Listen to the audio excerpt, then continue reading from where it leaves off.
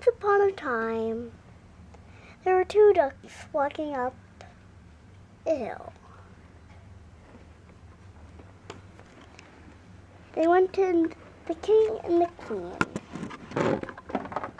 They wanted to be two guards, so they sent them off to be guards.